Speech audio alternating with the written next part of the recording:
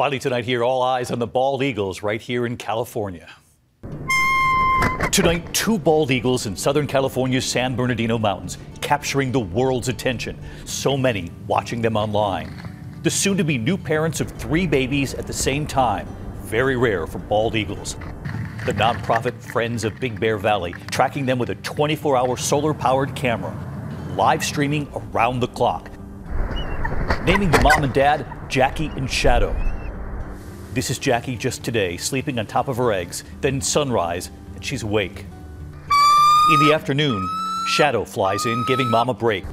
During California's recent storms, Jackie, the devoted mom they say, sat on top of her eggs for a record 62 hours, protecting them, keeping them warm. Tonight, the baby watch continues. The first egg could begin hatching a little more than two weeks from now. We'll stay on the breaking news. We'll keep you posted.